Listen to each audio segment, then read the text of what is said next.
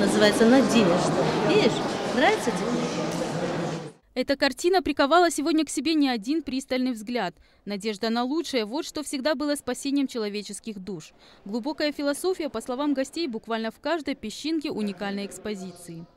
Многие художники заставили заговорить бумагу, карандаш, краску, но песок Не просто природный материал, он неразрывно связан с трагедией и ассоциируется с событиями столетней давности, с Черноморским побережьем, усеянным горем, считает мастер. Его безграничная фантазия в необычном исполнении порой трогает зрителей до слез. Эти картины потрясли меня, потрясли своим глубоким содержанием. Простите. Тем смыслом той трагедии, которую пережил наш народ, настолько глубоко это передать. Я уже не говорю о той технологии, как это создано.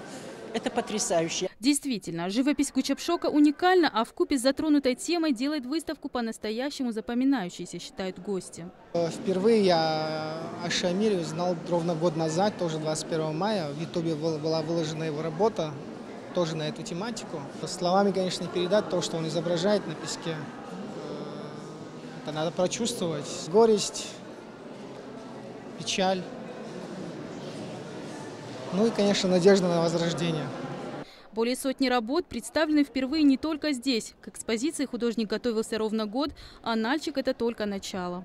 Планируется провести по всем республикам, по всем адыгским республикам, в том числе в Турции, в Москве.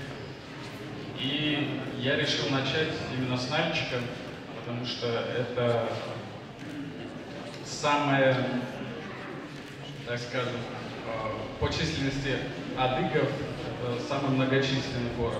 Фотоэкспозиция – это, как оказалось, лишь небольшая интрига перед настоящим творческим действом.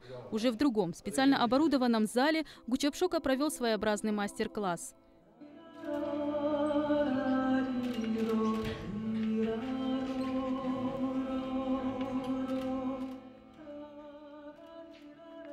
Инна Богатырева, Аслан Бимамхегов, Вести, Кабардино-Балкария.